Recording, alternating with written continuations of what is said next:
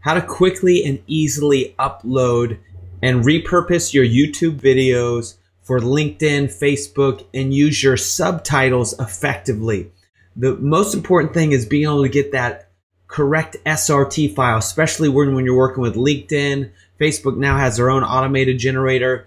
But when you use LinkedIn, typically when you are working with YouTube, your YouTube content is downloaded in the SBV, SBV file and it needs to be converted into an SRT. So I'm going to quickly show you how to easily convert it into an SRT file and make it work instantly for your LinkedIn videos for your subtitles.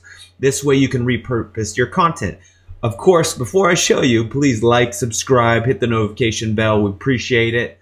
So let me dive into it. So first, when you come into YouTube, what we want to do is go into your subtitles before anything, most of the time you'll have your automatic here. So you want to duplicate this and edit it. So once you duplicate and edit it, it's going to then create this one. So I'm already in here. So I click edit on here. So now it's all set up in here, right? So obviously if I want to look at it just as a text, I can do that. By doing the sign timings, it's in here. So now I want to just click download sub- subtitles. Obviously, if you edit first, hit publish, but once it's all edited and everything's good, hit download subtitles. Right, and that's going to download as this captions1.sbv file. So if you notice, if I go on the LinkedIn here and I select that file here, that SBV file, you can see that it's not supported, right? They only support SRT files. But there's this cool software you can use called captionsconverter.com.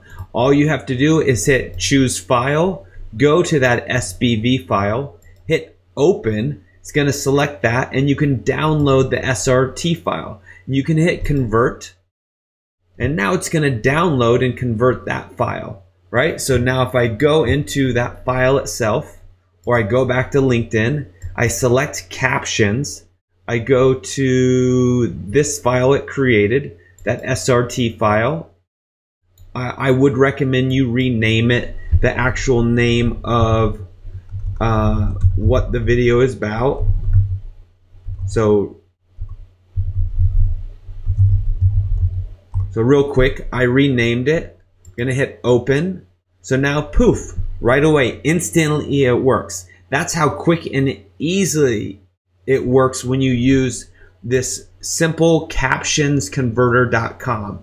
I'll, le- I'll leave the link to this in the descriptions below, but this is the fastest way I've found to quickly convert your SBV files into an SRT file or other subtitle formats so you can utilize uh, your videos more effectively by repurposing it and posting them on LinkedIn and other platforms. Hopefully this was super helpful. If you have any questions, if you want to grow your business, uh, improve your your sales, leads, all that great stuff, get more recognition on YouTube, sell your courses or whatever your products or services, please reach out. Descriptions are below. And again, uh, for us to keep doing these videos, please like and subscribe to our channel. We really appreciate it and thank you.